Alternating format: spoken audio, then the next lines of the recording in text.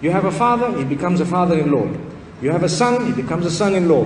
You have a daughter, she becomes a daughter in law. You have a mother, she becomes a mother in law. You have a wife, what does she become?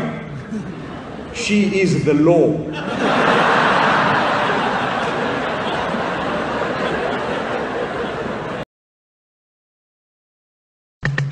ஆசை நூறு வகை வாழ்வில் நூறு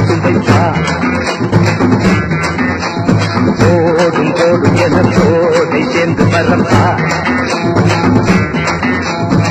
ஆசை நூறு வகை தாழ்வி நூறு சுவைப்பா